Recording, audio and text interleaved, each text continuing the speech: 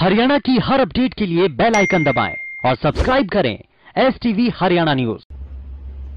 जैसा कि आप सभी जानते हैं कि कोरोना महामारी इस समय जो है विकराल रूप ले चुकी है और अब यह महामारी शहरों से निकलकर गाँव की तरफ़ अपना रुख कर रही है। और गाँव में डॉक्टर स्टाफ और रिसोर्सेज की कमी होने की वजह से जो शुरुआती दिनों में उपचार कोविड के पेशेंट को मिलना चाहिए, जो शुरुआती सलाह डॉक्टर की मिलनी चाहिए, वो सलाह उपलब्ध नहीं हो पा रही।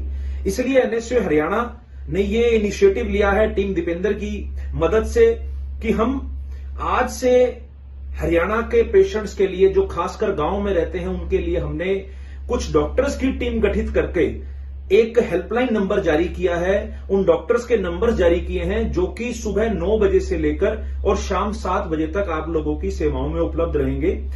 इन नंबर्स का, इन डॉक्टर्स का जो सीधा हम कनेक्ट जो है, वो पेशेंट से करवाना चाहते हैं कि जो शुरुआती दिनों में हमें लगता है कि चार से पाँच दिन में जो उपचार किसी पेशेंट को मिलना चाहिए और वो बिना डॉक्टर की सलाह की वजह से वो नहीं मिल पाता तो ये सुविधा उपलब्ध कराने के लिए हम ये एक इनिशिएटिव ले रहे हैं। इसलिए मैं अनुरोध करता हूँ कि जो भी गाँव के अंदर या शहर के अंदर ऐसे पेशेंट्स हैं, जिनका डॉक्टर से संपर्क नहीं हो पा रहा और उन्हें कोविड के लक्षण है तो इन डॉक्टर से संपर्क साझे और अपना उपचार करवाएँ। धन्यवाद।